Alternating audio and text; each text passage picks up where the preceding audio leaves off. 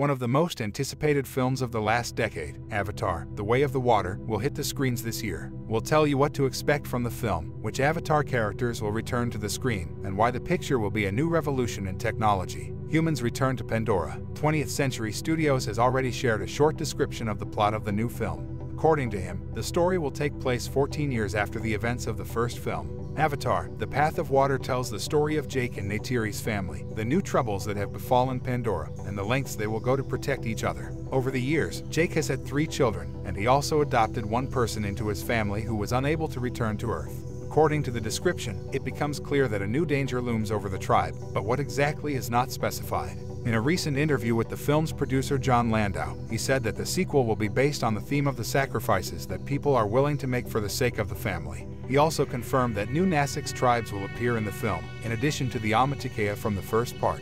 In turn, James Cameron compares the new story with the plot of The Godfather. This is a family saga that tells about the same characters and shows what happens when warriors are ready to launch suicide attacks and jump from cliffs onto the backs of large monsters, grow up, and have children. It's also clear from the latest trailer that people will be able to return to Pandora in the sequel. Apparently, they will be able to conclude some kind of agreement with Jake and the Nassix, after which the latter will be allowed to continue mining on the planet. It is possible that the violation of this agreement will become a new reason for conflict. The plot developed in a similar way in the first part.